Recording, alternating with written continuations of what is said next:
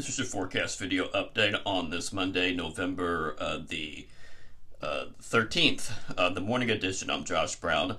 Well, this morning we're waking up with uh, temperatures in the 40s, uh, so not as cold outside this morning. This morning, but you still need that uh, jacket and a sweater because it's very still chilly outside, and also we're seeing cloudy skies out there this morning as well.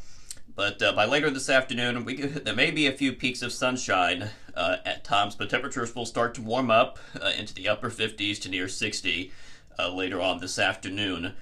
And then uh, for uh, tonight, we're expecting temperatures to go down into the upper 30s, so it's going to be cold out there for tonight. And there could be some patches of some frost, and we're talking a light freeze out there again for tonight. So if you got any plants or flowers that are, you know, that you really love and need to be protected, please be sure to do that right now. Either uh, cover, cover them up, cover them up uh, with a blanket, or bring them inside to your house or your garage uh, later on tonight. And then for tomorrow, we're expecting uh, more of the way of sunshine with high temperatures. Uh, the same thing into the upper 50s into the lower 60s. So, so not that bad. You still need the light jacket though during the day for tomorrow. And then for Wednesday, we're expecting uh, uh, some showers uh, to put to push in uh, during the day on Wednesdays. So you definitely need the umbrella that day. With uh, we're talking high temperatures up to near 60 degrees for the day Wednesday, and then for Thursday, we're expecting more of the way of rain with temperatures uh, start to warm up into the low to mid 60s, and the same thing for Friday. But with these showers on Friday, there could be maybe a few uh, embedded thunderstorms.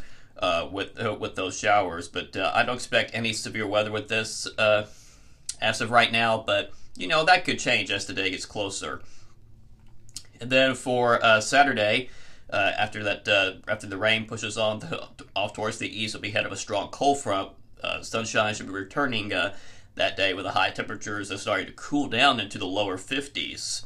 And we're talking maybe another uh, hard freeze for next Saturday, or actually for this upcoming Saturday night with morning lows Saturday night and early Sunday morning down into the upper 20s and low 30s, so it could be below freezing. For, so we're talking another round of frost and freeze possible. And then for uh, Sunday, so be a week from yesterday, we're, expect, we're expecting uh, more of the way of sunshine with high temperatures start, uh, high temperatures uh, in the low to mid 50s, and the same thing as we get into next Monday as we start the Thanksgiving, uh, almost towards the Thanksgiving holiday weekend.